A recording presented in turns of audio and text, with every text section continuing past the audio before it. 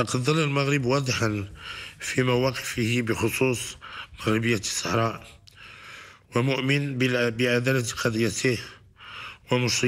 Sur la marocanité du Sahara, le Maroc a toujours affiché une position claire, inspirée par une foi inébranlable dans la justesse de sa cause et la légitimité de ses droits.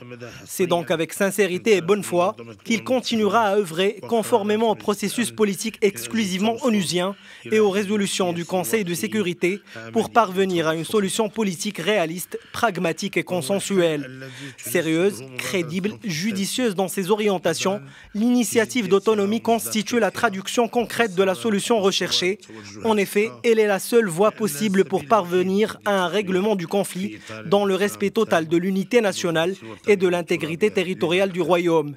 Cette perspective s'est renforcée du fait qu'un nombre sans cesse croissant de pays, pour être plus précis, 163 à ce jour, ne reconnaissent pas l'entité fictive de la RASD. L'initiative d'autonomie est également confortée par les partenariats et les accords qui lient les grandes puissances ainsi qu'un certain nombre de pays frères et amis à notre pays et qui couvrent toutes ces régions, y compris les provinces du Sud.